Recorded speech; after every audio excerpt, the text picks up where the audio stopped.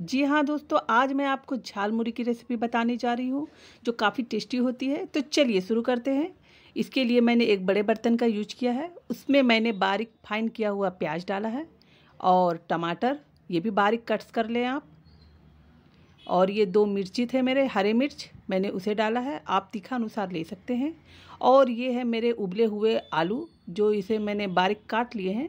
और ये है मेरे मूंगफली के दाने, इसे भी पहले मैंने रोस्ट करके रख दिए थे, उसे भी डाल दे। और ये है मेरे बीका जी के सेव, हल्दीराम्स के, आप उसे डालें।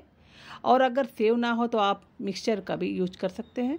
और ये है मेरे पफ राइस दोस्तों, जिसे मुरमुरा भी कहते हैं, मुर्रा भी कहते हैं और मुढ़ी भी कहते हैं। आप इसे भी मिक्स करें अच्छी तरह से। ये देखिए जैसे मैं कर रही हूँ। अब ऐड करें इसमें सरसों के तेल। जी हाँ दोस्तों, सरसों के तेल से ये काफ़ी टेस्टी बनते हैं और ये थोड़ी सी लाल मिर्च पाउडर ताकि ये थोड़े स्पाइसी बने और कलर भी आए। आप तीखापन के अनुसार ले सकते हैं दोस्तों। अब मैं ऐड कर रही हूँ इसमें इमली और गुड़ की चटनी दोस्तों, ताकि ये काफ़ी टेस्टी बने। ये मैंने ऑलरेडी घर में बना के रखी थी। और अगर आपके पास इमली और गुड़ की चटनी ना हो तो आप नींबू का भी यूज़ कर सकते हैं दोस्तों। इससे भी काफ़ी अच्छा स्वाद आता है। और अगर आपके घर में नींबू भी ना हो तो आप जो अचार होते हैं ना घर में रखे हुए, उसके मसाले और तेल का यूज़ करें।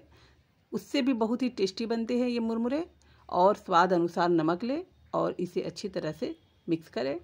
और हमारे चैनल को लाइक और सब्सक्राइब ज़रूर करें। और ये आपको रेसिपी कैसी लगी, ये हमें ज़रूर बताएँ। तो चलिए, इसे अब मैं सर्व करती हूँ बिल्कुल ही स्ट्रीट स्टाइल में, दोस्तों। ताकि ये बच्चे और बड़े को दोनों को काफ़ी पसंद आए।